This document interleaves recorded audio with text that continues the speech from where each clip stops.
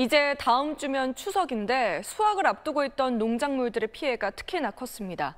정성스럽게 키운 과일들이 다 떨어졌고 태풍 때문에 발생한 정전 때문에 양식장에선 물고기들이 떼죽음을 당했습니다. 소환우 기자입니다.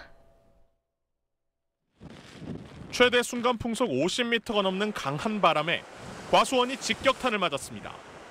나무는 두 동강 나버렸고 수확을 코앞에 뒀던 과일은 땅바닥에 이리저리 굴러다닙니다.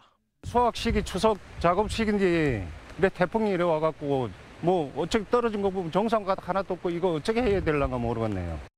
떨어진 과일들은 금방 썩기 때문에 모두 폐기 처분해야 합니다.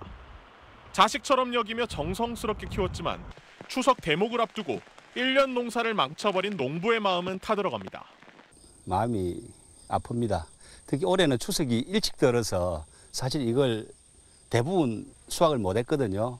예년 같으면 추석 때 이걸 다 출하해서 어, 소득으로 직결되는 그런 과일들인데 중앙재난안전본부 집계 결과 저녁 7시 현재 전국적으로 7,145헥타르의 농작물이 피해를 봤습니다.